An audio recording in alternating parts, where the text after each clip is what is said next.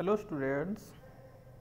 Today, we learn the use of a और n.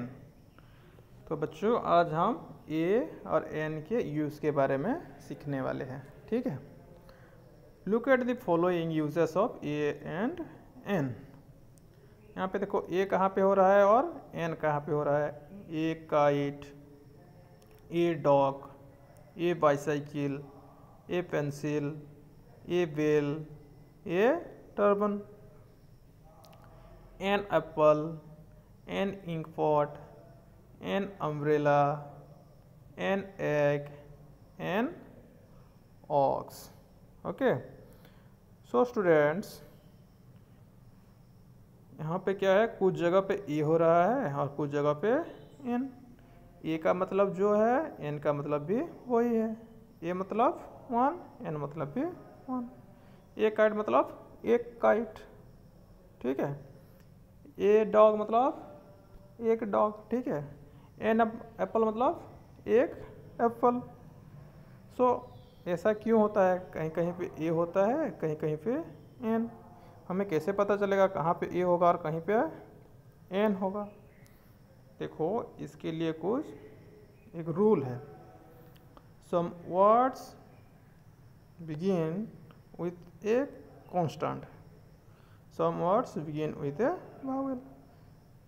So, कुछ words consonant से शुरू होते हैं एंड कुछ भावेल से।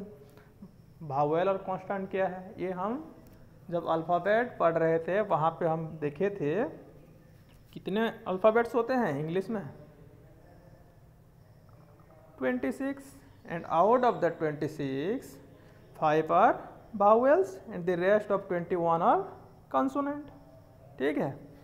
पाँच भावेल होते हैं एंड जो बाकी बच गए 21 वो कंसोनेंट है। तो भावेल कौन कौन से है? भावेल है A E I O and U A E I O U ये क्या है? भावेल्स हैं। सो so, बच्चों जो भी वर्ड्स भावेल से शुरू होगा किससे भावेल से स्टार्ट होगा जैसे यहाँ पे एप्पल हो गया। एप्पल कहाँ से शुरू होता है? ए से A P P L E apple होता है। तो ए क्या है? भावेल है। तो उसके सामने क्या लगेगा? एन लगेगा।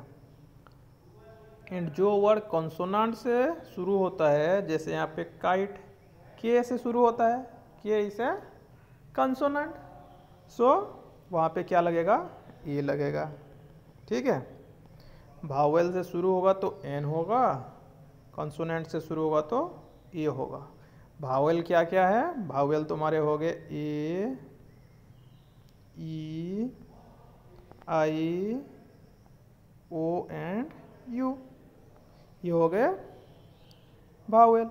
अगर ए से शुरू होता है ई से शुरू होता है आई से शुरू होता है ओ से या फिर यू से अगर शुरू होता है कहीं भी वर्ड तो वहाँ पे एन लगता है। क्या लगता है? एन बाकी जो बच गए, वो सारे कंसोनेंट हैं। उनके सामने अगर उन्हीं से अगर शुरू होता है कोई भी वर्ड तो वहाँ पे ए लगेगा।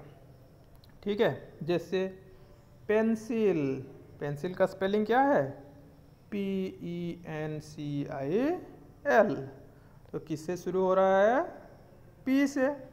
तो उसके सामने क्या लगेगा? ये लगेगा ए पेंसिल ठीक है? बट यहाँ पे देखो एग ई जी जी एग ठीक है? तो किससे शुरू हो रहा है एग ई से। तो उसके सामने क्या लगेगा? एन एन एग होता है। ए एग नहीं होगा। ठीक है? तो नीचे देखो, दिया गया है exercise fill in the blanks with a और एन कहाँ पे ए लगेगा, कहाँ पे एन लगेगा, तुम्हें लगाना है।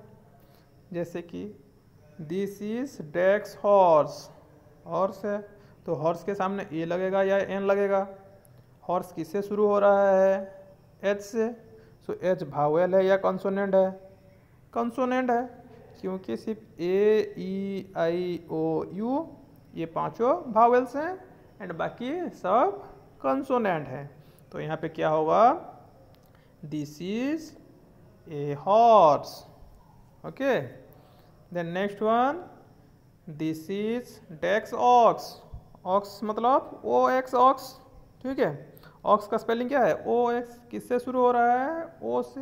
एंड ओ क्या है? Vowel A E I O U ये भावेल से सो ओ से शुरू हो रहा है तो क्या लगेगा यहाँ पे? An this is an ox ठीक है बच्चों?